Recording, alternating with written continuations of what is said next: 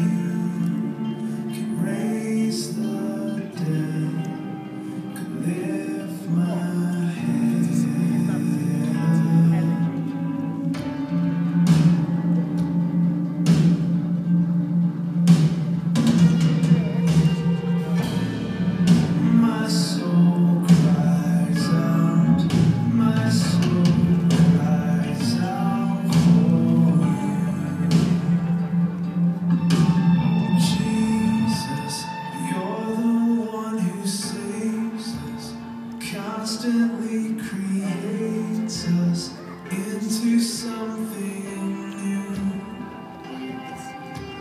Jesus, surely you define.